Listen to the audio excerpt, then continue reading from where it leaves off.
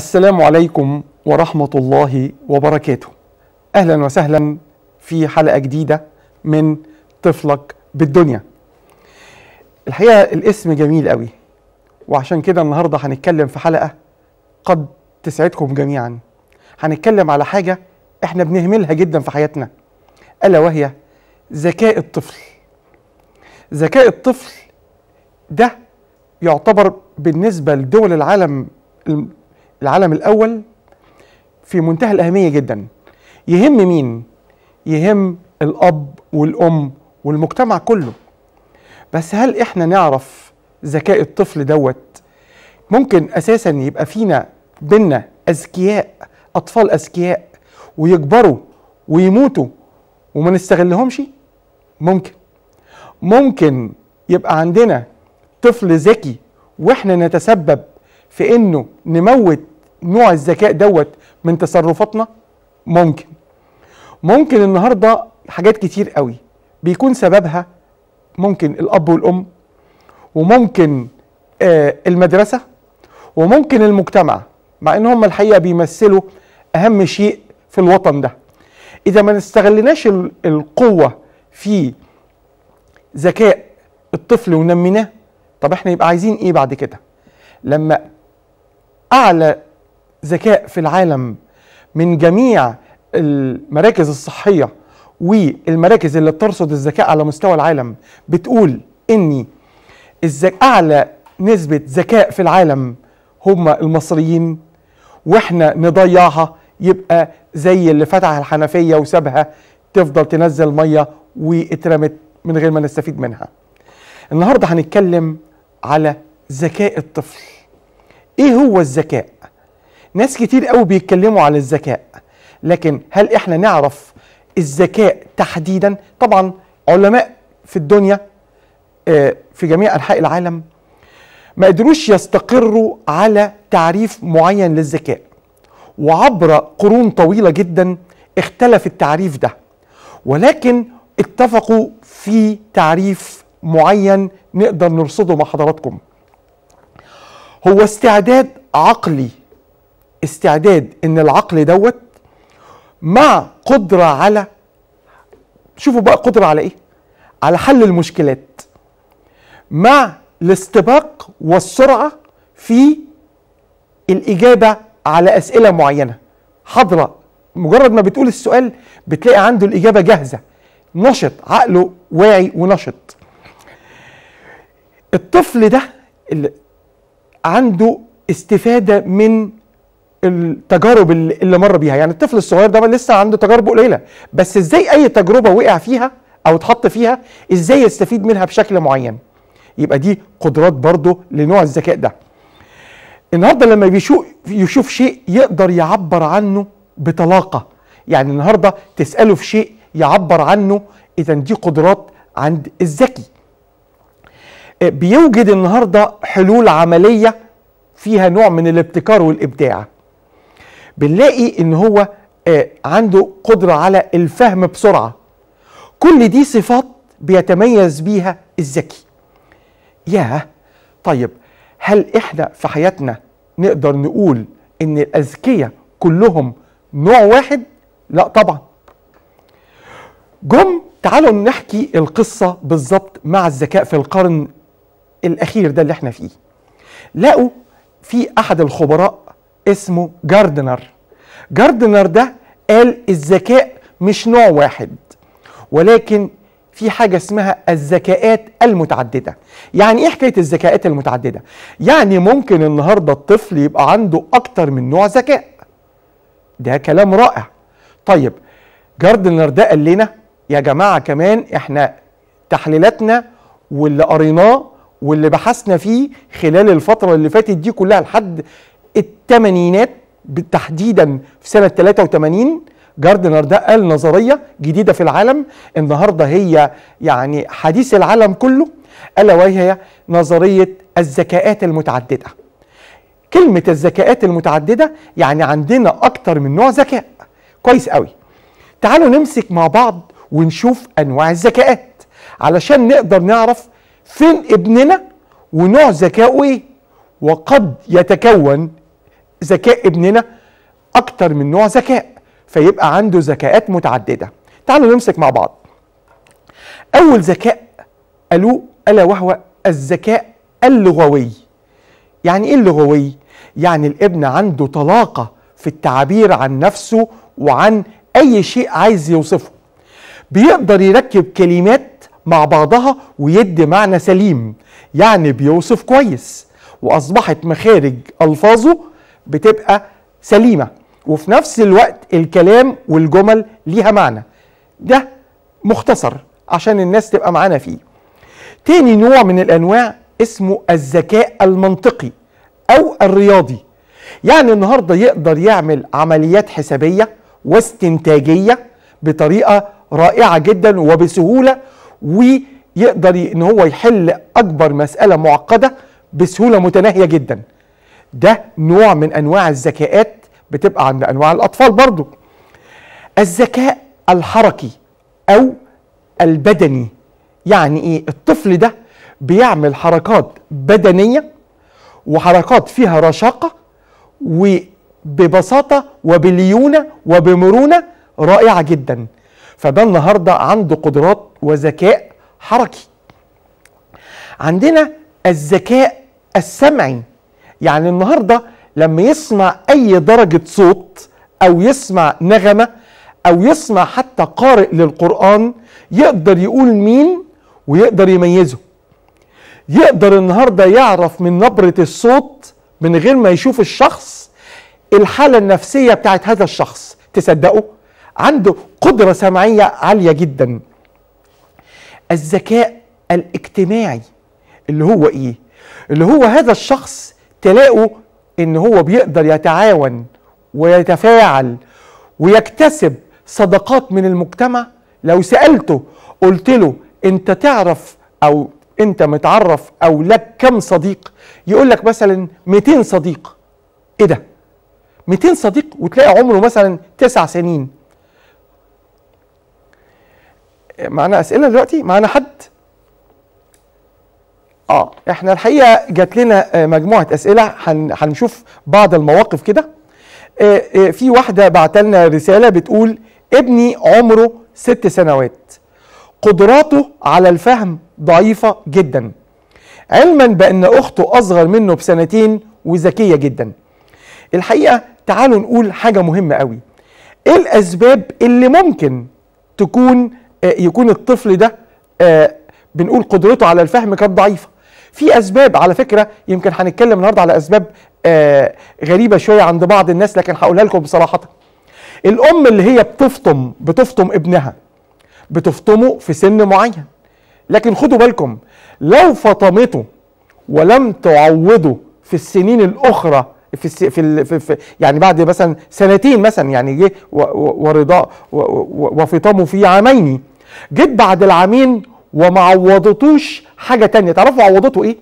نتيجة هذا الفطام الغذاء ده. تعرفوا بتعوضه بإيه؟ بالحنان والعطف والحب ولازم توصله له بثلاث درجات. تعرفوا إيه هم؟ لازم دايما تقول له ألفاظ الحب والعطف والحنان والحاجات دي كلها. أدي واحدة. حاجة التانية لازم تلمسه. تعمل له عملية احتكاك باللمس تلعب في شعره وتدلكه له. الكل الجزء ده هو التعويض عن الرضاعة وعن الفطام. الجزء ده بيعمل آه حاجة نفسية بيبقى كتم وكبت نفسي في ضيق جدا. ده ممكن يأثر عليه جدا. كويس. الطفل اللي عنده ست سنوات ضروري جدا يحصل فيه نوع من الشراكه يعني هي بتقول لي في ال في ال الأخت أو الأخ اللي باعت ده بيقول لي إيه ليه أخت أصغر منه بس مش أذكى منه. قد النهارده هو ما بياخدش درجات حنان قد ما ياخدش اهتمام مفيش تفاعل معاه. كل الكلام دوت قد يخليه آه سرحان قد يخليه منطوي وبالتالي ممكن يأثر عليه. وبالتالي هذه المعلومات ممكن ما تخلينيش أنا أقدر أوصل لكن دي كلها أسباب ممكن يكون فيها أثر. لو اتعالجت بهذا الأسلوب هتلاقوا النهارده إن هو يكتسب لأن بدل ما عندوش أي عوائق ما فيش مشكلات كتير جدا جوه البيت. أنا أعتقد يرجع تاني بسهولة جدا بعد ما يتعوض لأن قد يكون الجزء ده حائل بينه وبينه. بنتي صغيرة في الحضانة مش بتستوعب الدروس اللي بتاخدها ولا بتحفظ أي حاجة من الأناشيد أو الأدعية أو الأذكار مع إنها انطوائية ومش بتحب اللعب مع الأطفال. حضرتك أنت اللي قلتي أو حضرتك أنت اللي قلت هذا الكلام اللي, اللي أنا قلته دلوقتي انطوائية. تعرفوا ليه؟ إحنا عندنا مشكلة كبيرة جدا يا جماعة في المجتمع. 99% من المجتمع مش بيفوق لها. تعرفوا إيه هي؟ لما حضراتكم بتاخدوا الابن المدلل أو البنت المدللة من جوه البيت والأب بيحبها والأصحاب بيحبوها وعائلتها كلها بتحبها وكله بيدلعها. لما يتاخد ويترمي مرة واحدة جوه الحضانة بدون استعداد وبدون تهيئة طب ما أنت النهارده صدمته لأن الأطفال الموجودين في الحضانة ليهم دوافع بتصطدم مع الطفل الصغير ده. اذا هيحصل إيه؟ طبيعي جدا إن هو قد يكون هو يشذ عنهم أو يكتشف إن مفيش حد بيديله درجات رعاية معينة تقدر تعوضه. تعرفوا الأسرة المصرية عندها خلل في إيه؟ في حاجة صغيرة خالص. في النهارده مراكز بقت منتشرة كتير قوي في مصر بتعمل حاجة مهمة جدا. بتهيئ الطفل قبل وصوله إلى المكان اللي هيتعامل فيه مع الآخر. يعني النهارده الأب والأم لازم يعلموا أطفالهم سواء جوه البيت أو في مراكز إعداد الطفل قبل وصوله للكي جي 1 ده بيعمل إيه؟ بيعمل له ثلاث حاجات مهمين قوي. بيديله ثقة في نفسه وبيعلمه إزاي يتعامل مع أولاد من سنه ولكن قد تكون آه في اصطدامات نتيجة إن هم مثلا هيتخانقوا على مرجيحة على لعبة. هنا هيحصل اصطدام طبيعي جدا لأن النهارده أولاد بيلعبوا مع بعض هيحصل. لكن كيف يستطيع هذا الطفل إن هو يتعامل مع طفل تاني؟ آه بينهم صراع. إزاي يمتصه؟ إزاي يتعامل ويكتشف إن هو أقل قدرة منه فيعرف يتعامل معاه؟ اذا دي عبارة عن تهيئة للطفل قبل دخوله. دي ممكن تولد كده. هنكمل بس هندخل في حاجة مهمة قوي. نكمل بقية الذكاءات عشان الناس تعرفها. الذكاء الذاتي. يعني إيه النهارده؟ أنت النهارده عندك نوع وقدرة وعندك استعداد إنك تبقى مرن. لما في حاجة أساسا تضايقك إزاي إن أنت النهارده تتعامل معاها؟ ده نوع ذكاء قوي جدا بينمو ويتم تنميته في الطفل. نوع الذكاء ده بي ربنا بيخلقه بس قد تكون بدرجة صغيرة. دور الأب والأم هنا إيه؟ كيف تنمي هذا الذكاء؟ ذكاء النهارده إزاي إحنا بنسميه تنمية المشاعر بتاعت الطفل ننميها إزاي؟ إزاي يحس ان ابوه اتضايق فيقوم النهارده يعرف يشوف إيه اللي غضبه؟ ده بننميه. النهارده إزاي ابوه فرح منه؟ ياخد باله من اللي بيحصل حواليه يستفيد منه ويبقى مرن في الاستقبالات دي. ده ذكاء ذاتي. عندنا أعظم ذكاء تم اكتشافه في القرن الأخير ده خالص. ألا وهو اسمه emotional intelligence أو ذكاء المشاعر أو الذكاء الوجداني. ألا وهي عبارة عن الشعور. أنت شاعر بإيه؟ في حاجة ضايقتك؟ آه يحصل حاجة مهمة جدا.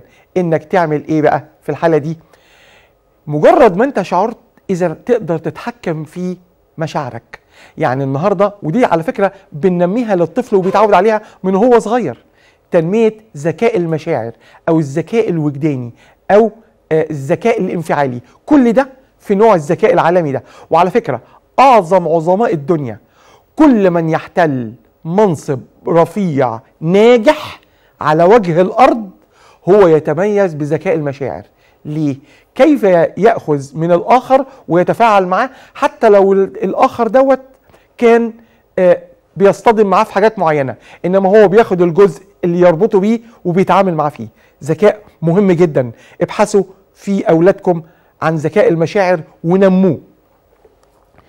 في حاجة عندنا كمان اسمها الذكاء البيئي وده الحقيقة لازم نراعيه وناخد بالنا منه. ويمكن بره أصبحوا النهارده بيهتموا بيه جدا. ألا وهو الذكاء الذي يتفاعل مع الطبيعة. دايما تلاقوا وخدوا بالكم وتعرفوهم إزاي؟ تلاقوا الطفل وهو صغير بيروح يحضن البوبي كده مثلا على سبيل المثال يحب يقعد مع الأرانب ويمسكهم ويتحرك معاهم يحب يروح في الطبيعة يقعد قدام حوض فيه سمك ويقعد يشوفه. ده النهارده هو بيحب البيئة عايش مع البيئة. النوع ده لو خد قدراته بتلاقيه في الآخر بيبقى إيه؟ بتلاقيه في الآخر يا تلاقيه مهندس زراعي يا طب طبيب بيطري المهم إن أنت تبقى عارف إن ابنك النهارده الذكاء دوت ممكن بيستغل لأن هو بيحب الطبيعة بيتفاعل معاها. ده نوع ذكاء مهم قوي. آخر ذكاء ألا وهو الذكاء البصري. النهارده اللباح الذكاء البصري ده قالوا إن القادة العظماء هم اللي عندهم ذكاء بصري. الذكاء البصري ده ممكن يستغل في حاجات كتير قوي. في بعد الذكاء الخيالي اللي هو النهارده ممكن أتخيل آه، مصر دلوقتي بعد خمس سنين نتيجة أحداث معينة ممكن تبقى إيه؟ نتيجة رؤية آه، تصور تصور قد يكون واقعي وتخيل قد يكون آه، هو متخيله في رؤيته. دايما قالوا أصحاب القيادة يعني أي قائد في الدنيا عظيم لازم يبقى عنده الذكاء البصري ده. إزاي يقدر لما يشوف شيء يقدر يميزه بسرعة؟ يقدر يعرف حتى لو شاف شيء مكسور يعرف إن ده كان تركيبته إيه.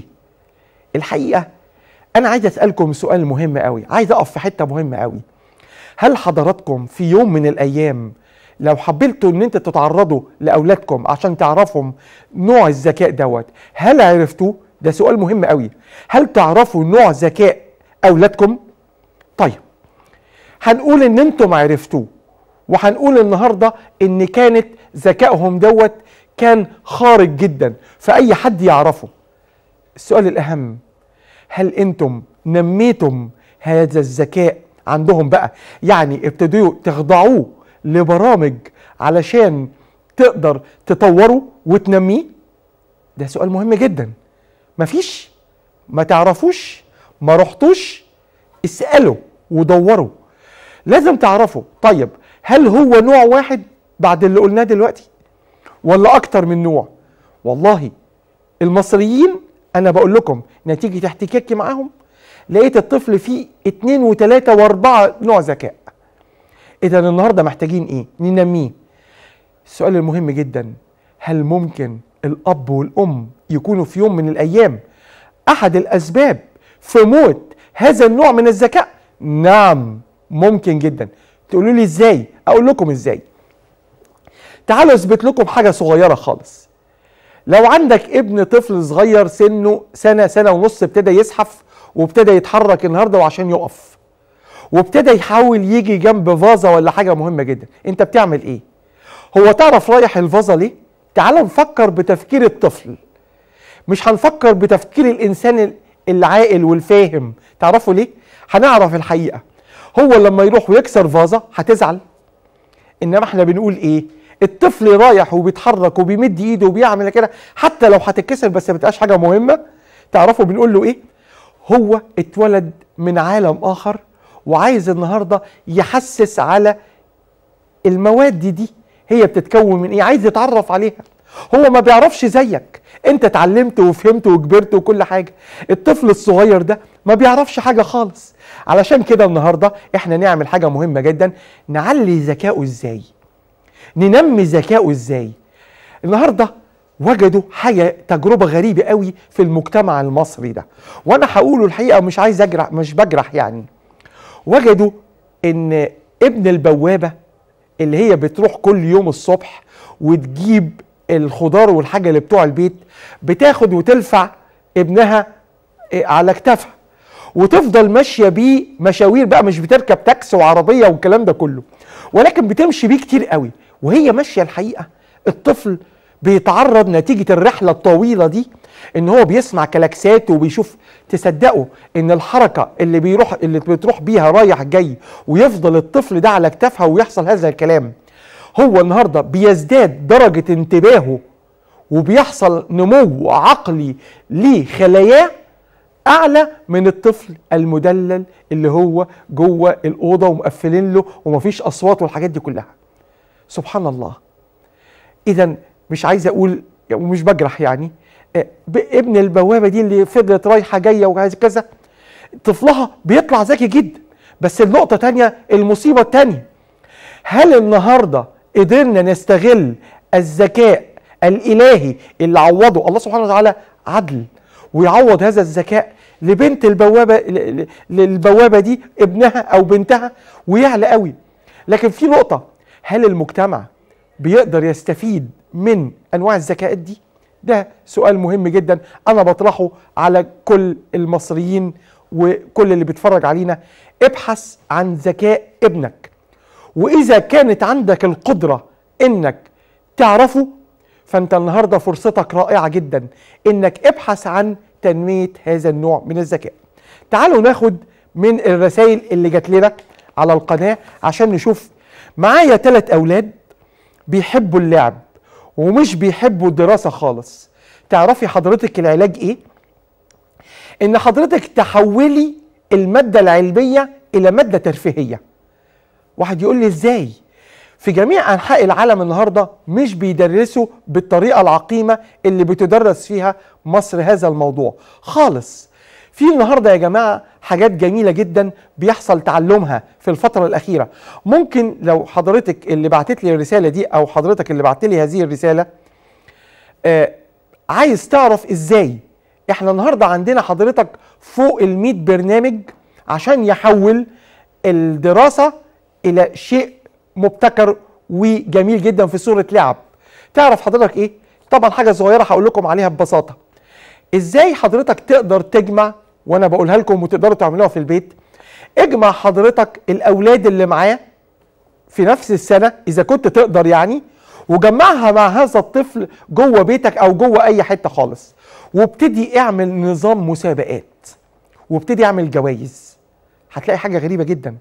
هتلاقي النهارده الطريقة اختلفت. النهارده بيعملوا لعب وبيعملوا حاجات في خصوصا في السن الصغير علشان يقدروا يحولوا هذا الكلام إلى متعة. إحنا الحقيقة وليكوا ليكوا حق. الأطفال النهارده في العالم الحديث اللي إحنا بنشوفه دلوقتي والميديا القوية جدا بقى في شيء بيشد الانتباه أكتر. أنا النهارده لو منهم هتأثر بالميديا ومش هذاكر بالطريقة دي. وده شيء منطقي جدا. لكن النهارده على دور الأب والأم دور كبير جدا في مجتمع النهارده قياداته في التعليم. مش بتعرف هذا الكلام لكن مش هنسيب أولادنا. لازم النهارده نوجد الحلول البديلة الابتكارية الإبداعية في طريقة تعليمهم. والله والله والله. في المجتمع النهارده في أماكن رائعة جدا علشان تقدر تحول هذا التعليم من نظام تلقيني إلى نظام إبداعي نظام محبوب جدا. النهارده الأب والأم ممكن يعملوا حاجة تانية جميلة خالص. تعرفوا إيه؟ يشرحوا التاريخ لأولادهم في قصة. يعني النهارده ما تديش لابنك الكتاب ساعده شوية. اقرأ أنت الموضوع دوت وتعالى احكيها له في شكل قصة. هيتبسط منها جدا وهيفهمها أكتر. وتعرف هتطعمها بإيه؟ هتطعمها بالأبطال بتوعها. ومفيش ما يمنع إنك مثلا وليكن لو بتتكلم مثلا على حروب صليبية ولا حاجة زي كده قول له النهارده هات له صورة أحمد مظهر وهو صلاح الدين وابتدي وري له الفيلم ده بس النهارده اتكلم عليها بهذا الكلام. هتلاقي نفسك حاجة جميلة خالص الولد ابتدى يتقبل منك. علشان خرجت بره الإطار العادي بتاع التعليم العقيم إن أنا النهارده بدي لك هذا الكلام في صورة معلومات ومعلومات مش مشيقة. النهارده تشويق النهارده. الميديا بقى فيها تشويق عالي جدا. يمكن ما كانش في زماننا قوي كده. إحنا كنا بنشوف التلفزيون الابيض واسود. وفين ولا فين لما يجي مثلا دراما ولا حاجة. لكن النهارده أنا مش قادر أقول لك النهارده في حيرة عمال يقلب القنوات وبيشوف ميديا والحاجات دي كلها. وفي الآخر خالص تقول له بص في كتاب في حاجة ما فيهاش تشويق. إيه المنطق ده؟ يبقى النهارده حضرتك في السؤال ده تغيري الطريقة. ابن عمي الصغير عنده 12 سنة. مستواه العقلي ممتاز وبيفهم كل حاجة بسرعة جدا. لكن في التحصيل الدراسي ضعيف جدا مع إنه دايما بيتظاهر إنه راجل كبير. عايز أقول لكم حاجة مهمة جدا. الحاجة دي قد تكون مفاجأة ليكم والبعض يعرفها. تعرفوا حضراتكم أعظم موهوبين في العالم أعظم موهوبين في التحصيل الدراسي مش أقوياء. وأعظم علماء وموجودين في جميع أنحاء العالم. ولكن تعرفوا ليه يا جماعة؟ تعرفوا مين اللي ضيع الموهوبين دول أساسا؟ المجتمع. تعرفوا ليه؟ الخارقين في أفكارهم لما بيقعدوا مع أطفال عاديين خالص بينزل مستوى ذكائهم من maximum plus من قمة الذكاء ينزل لذوي الاحتياجات الخاصة. يعني كان محتاج رعاية فائقة. تعرفوا إحنا عندنا نقص علم فظيع قوي. عندنا ناس حاصلة على الدكتوراه ولكن بكل أسف ما بيقدروش يعالجوا المشاكل دي ولا يقدروا وإلا كانت انعكست على المجتمع. تعرفوا الموهوبين أصحاب الذكاء لازم الدولة تاخدهم تستقطبهم من أول سنين في حياتهم وتحطهم في مدارس هي ترعاها. تعرفوا لو عملت كده هيحصل إيه في المجتمع؟ إن المجتمع ده الحقيقة عايز أقول لكم على حاجة مهمة جدا. المجتمع يستطيع إن هو يقوم على هؤلاء الأذكياء واللي هو بيخرج منهم على فكرة العلماء. العلماء في جميع أنحاء العالم هم مش المتفوقين تحصيليا. ودي مفاجأة. بكل أسف النهارده الاعتقاد خاطئ جدا في مصر. أوائل الثانوية العامة مش أعظم ناس في مصر. ولذلك ابحثوا عنهم. تقدروا تقولوا لي النهارده هم ماسكين مراكز قوية جدا في المجتمع اللي خدوا هذا الكلام؟ نادرا هتلاقيهم 2 3% والباقي لا أصحاب ذكاءات ومواهب أخرى هم اللي ماسكين في أعظم الشركات مش في مصر بس في جميع أنحاء العالم. النهارده إحنا بنحكم غلط. إحنا بنعظم اللي بيبقى متفوق تحصيليا مع إن هي دي بتشكل 10% بس من نوع الذكاء ده. الموضوع كبير جدا لازم تعرفه. اذا أصحاب هذه الشكاوى عليهم إن هم يبحثوا عن نوع ذكائه. عليهم النهارده إن هم يعرفوا ابني عنده ذكاء إيه؟ النهارده إذا ما كنتوش حضراتكم تعرفوا نوع ذكاء ابنكم. أمال تعرفوا إيه؟ إيه اللي تعرفوه؟ جاب كام في جاب نتيجته كام في الفصل؟ هي دي حكايتكم كلها. النهارده الحقيقة أنا بسأل سؤال مهم جدا للمجتمع كله وبقول له حاجة مهمة قوي. هل يا جماعة أنتم في التعليم في مادة للتفكير الإبداعي من كي جي 1 لحد الجامعة. عمركم شفتم إحنا النهارده بندرس تفكير إبداعي عشان ننمي ذكاء الأطفال؟ ما عندناش. إذا المجتمع النهارده اللي ما فيهوش مادة للتفكير الابداعي كيف يفكر ابداعيا؟ كيف نشجع الطلبة الصغيرين أنا على فكرة بتكلم على الطلبة وبتكلم على الجيل الجديد. إحنا النهارده قلنا ثورة والكلام ده كله لكن هل النهارده إحنا بننمي الذكاءات؟ أنا عايز النهارده أخاطب تعرفوا مين؟ عايز أخاطب ثلاث ثلاث جهات النهارده. عايز أخاطب الأب والأم. عايز أخاطب النهارده المجتمع. عايز أخاطب قادة المجتمع. هل أنتم مدركين وواعيين جدا للذكاءات؟ عندنا مدارس للذكاءات. إحنا عندنا حاجة اسمها على فكرة فصول للتقوية والتحصيل. لكن هل والله نفسي أسألكم ونفسي أجد إجابة ونفسي النهارده حد لو بيتفرج ومسؤول كبير جدا في المجتمع المصري يبعت ويقول وينزل على على الجرايد وال وال وال والميديا كلها ويقول أين هي مدارس الأذكياء؟ وكيف يتم اختيارهم؟ وما هي اللجان التي تختارهم؟ وكيف يتم البحث عنهم؟ هتجدوا حاجة مهمة جدا. أنا بأكد لكم لا يوجد في مصر أساسا في عندكم ثلاث حاجات مهمين جدا. في النهارده في العالم حاجة اسمها اختبارات للذكاء. تعرفوا الاختبارات دي standard موجوده في العالم. اختبار اسمه ستانفورد بينيه واختبار اسمه ويكسلر واختبار اسمه تورانس تعرفوا الاختبارات دي؟ آه يعني دي اختبارات عالمية عملها أكبر خبراء في العالم.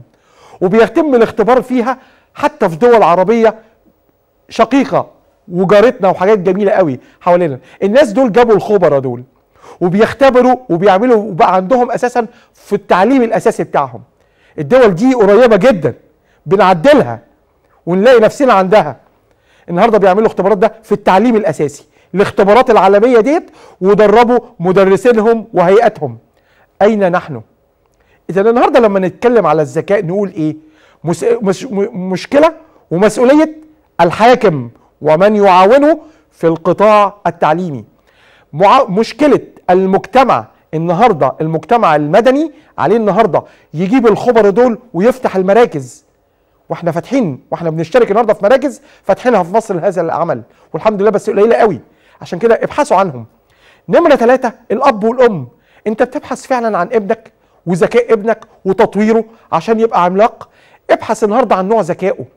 وابتدي النهاردة نميه النهاردة أنا هتعرض معاكم هقول لكم على حاجة مهمة قوي.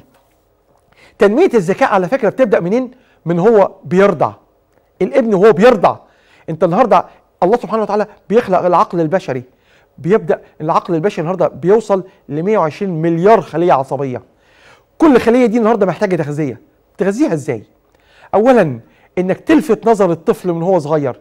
تبتدي النهارده في في سنه وهو صغير تحرك له إيده ورجله. عشان الأنشطة عشان الإيد نفسها والرجلين تبتدي تتنشط. تبتدي تعرض عليه النهارده الألوان تحطه في مواقف طبيعة تاخده في أماكن كتيرة جدا. دي أول مرحلة لتنمية قدرة الذكاء في العقل البشري. إنك النهارده تاخده وتحركه وتسمعه أصوات عشان يقدر يميز. دي المرحلة الأولى. المرحلة الثانية اللي هي من سن طبعا المرحلة الأولى عندنا من سن الرضاعة لحد سنتين. ومن اتنين لتلاتة تبتدي تعمل له الحركات وتوري له الألوان والأضواء والحاجات دي كلها. من سن تلاتة لسبعة ابتدي نمي عنده ذكاء المشاعر. إزاي يحس النهارده باللي حواليه؟ وإزاي يتفاعل معاهم؟ مرحلة التكوين دي مرحلة مهمة جدا. الأخلاقيات والحاجات اللي بتزرعها فيه بتتكون لكن الثقافة ونوع الذكاء بيبتدي يظهر يبتدي يتفاعل معاك ويتنطط وتبتدي تشوف فيه إمكانيات ما كنتش بتاخد بالك منها. نتيجة التدريب ابتدت تظهر. حط في وسط أطفال وراقبهم جدا هتلاقيه شوف درجة التفاعل. بعد كده هتيجي المرحلة اللي بعد كده وهي مرحلة من سن سبعة فيما فوق لحد 12 سنة ألا وهي المنطقية. المنطقية في حل المشكلات. المنطقية في آه تعرض لحلول مبتكرة. الإنسان وهو صغير في السن ده ما عندوش تراكم خبرات. قد يكون أحسن من الكبير. تعرف ليه؟ لحاجة مهمة قوي. لأنه هو الحقيقة كل إنسان بيكبر بيكون قناعات بيبني عليها رؤيته. لكن الصغير لسه ما بناش فبيدي لك حلول مش مبنية على خبرات. أحيانا بتحل مشكلات كبيرة. نميها وطورها معاه. تعالوا نشوف بقى حاجة مهمة جدا. دور الأب والأم في حاجة مهمة. في إيه؟ في الزي... في الذكاء اللغوي. لو ابنك عنده ذكاء لغوي هتعمل إيه معاه؟ تعرف تعمل إيه؟ هقول لك تعمل إيه. تعالى النهارده اشتري له قصة. هنشوف بقى دور الأب والأم في تنمية الذكاء إحنا بنختار دلوقتي ذكاء زي الذكاء اللغوي. نقول لك تعال نشوف. النهارده الطفل ده عايزه ينطق عايزه يتكلم. تعرف تعمل إيه؟ هات له قصة واقرأ له القصة ومتعه بالقصة. وتعرف في الآخر تعمل له إيه؟ اسأله. قول له النهارده هيبتدي يجاوبك. بس اسأله أسئلة طويلة شوية عشان تشوف تركيبة كلماته وتدي معنى. يبقى ده نوع من التنمية. اذا دي طريقة. تعالى النهارده قول له إيه؟ أنت عملت إيه؟ خليه ابتدي تحاور معاه. اسمع منه. اسمع منه إيه؟ آه آه جاي يقول لك عمل إيه في المدرسة أو أو في الحضانة. اسمع منه واسأله كل مرة آه يعني اديله أسئلة عشان يديك أكتر في إجابة. انت النهارده بتعمل إيه؟ بتشجعه على انه يعبر عن نفسه وعن يتحاور وعن ان هو يخرج هذه المهارات. ادي نوع من انواع التعامل مع الذكاء اللغوي. مثلا على سبيل المثال لو انت النهارده شاف فيلم اسأله انت طلعت منه بإيه؟ اسمع منه الحوار ده كله. طيب تعال نشوف النهارده الذكاء الرياضي. هتلاقي النهارده هل هو بيقدر شو تشوف كده تلاقي اللي عنده ذكاء رياضي تلاقي إيه تلاقي دايما يسأل ويقول لك ليه كده؟ وإزاي؟ الطفل ده اللي بيقعد يسأل على أسئلة كتيرة قوي كده. إحنا عندنا في المجتمع بتاعنا أنت زهقتنا بقى أنت قرفتنا خالص بأسئلتك دي. ده أنت بتتعامل النهارده مع واحد عنده ذكاء بيسأل الأسئلة دي عشان لما يركبها هيديك حل فوق مستوى خيالك خالص وفوق مستوى خيال المجتمع. قد يكون عندك إنسان ذكي جدا والنهاردة بأسئلته دي هيوصل لحاجة بنتيجة إن هو خد مساحة معينة بيوصل لهذا الكلام. إزاي إحنا النهارده بنبقى سبب في إن إحنا نموت هذا النوع من الايه من أصحاب الذكاءات اللي ممكن يبقى نجم كبير جدا في مجتمعنا فيها؟ الموضوع خطير جدا محتاج تركيز قوي. محتاج النهارده ناخد بالنا هل تصرفاتنا ديت بتموت ولا بتشجع؟ لازم نراجع نفسينا. الذكاء الابتكاري تعالوا نبص النهارده بنقول إيه؟ الذكاء الابتكاري ده عشان ننميه لازم ندخل نوع من أنواع المغامرة.